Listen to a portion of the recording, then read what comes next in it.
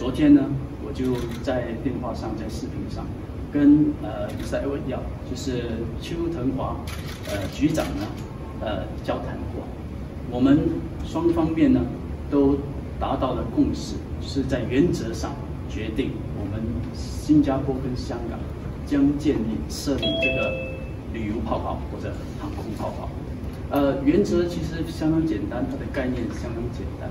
第一就是双方面都认同到，另一方面我们两方面呢都非常呃成功的把这个疫情控制了下来，所以我们的疫情率是非常的低。第二就是我们不需要去限制说只能呃商务的旅客才可以利用这个泡，利用这个设施，或者说来到新加坡到香港要十四天的隔离，也不需要有非常约束性的这个旅程。这些都取消掉，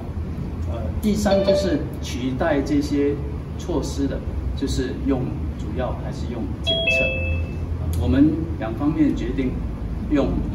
呃旅旅游之前的检测，但是到达机场的时候，双方面可以呃进行更多的检测。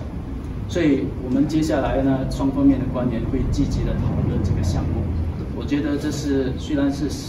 发出的一小步，但是是非常重要的一步。但是因为呢，新加坡、香港都是航空枢纽，区域甚至是国际的航空枢纽，两个这样的航空枢纽，成功的控制了疫情，在一现在一起合作，